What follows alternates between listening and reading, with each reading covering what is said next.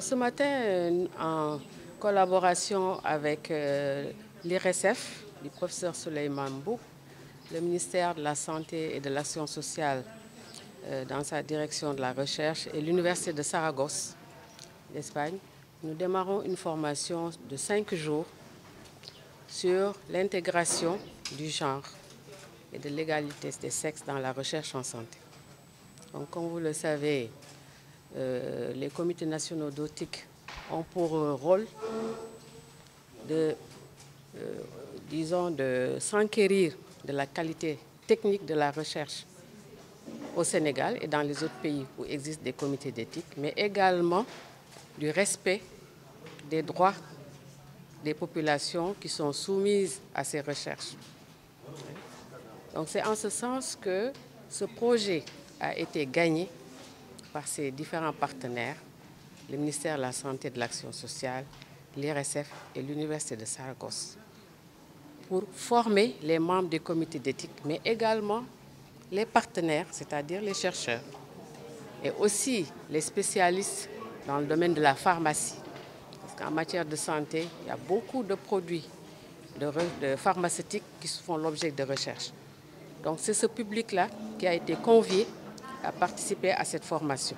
Nous avons l'obligation aussi en tant que chercheurs d'aborder des questions nouvelles qui se posent dans la société. La question du genre est une question nouvelle qui concerne euh, beaucoup de, questions sociales, donc euh, les questions politiques, les questions culturelles, mais aussi les questions de santé. Donc c'était important pour nous de de proposer ce projet de recherche avec le ministère de la Santé, bien sûr, mais aussi avec l'Université de Saragosse. Donc on a déposé et puis on a eu ce financement pour quand même traiter de cette question au niveau de la recherche et de l'éthique en santé.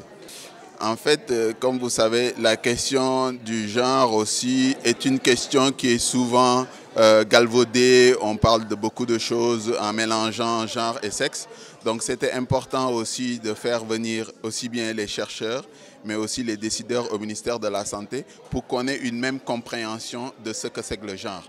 Le genre n'est pas le sexe, c'est comme on l'a dit tout à l'heure, c'est un peu le sexe social, comment on vit son sexe dans la société.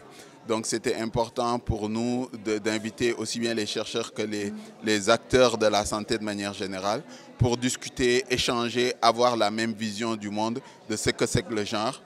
Euh, parce que dans la question du genre, il y a deux choses qui sont les chercheurs qui travaillent sur ces questions de genre et sur quelles thématiques ils doivent travailler? Donc, parce que ce n'est pas tout le monde qui peut travailler sur n'importe quel sujet. Par exemple, on a besoin d'avoir des femmes pour faire des recherches, par exemple, sur les femmes. Mais on a aussi besoin de comprendre quelles sont les, vulnérabilités, par exemple, des femmes par rapport au diabète, par rapport à l'hypertension, par rapport à des choses comme ça, pour comprendre un peu la différence entre hommes et femmes et de pouvoir aussi aider les décideurs politiques à mieux organiser leurs décisions en fonction de ces résultats de recherche.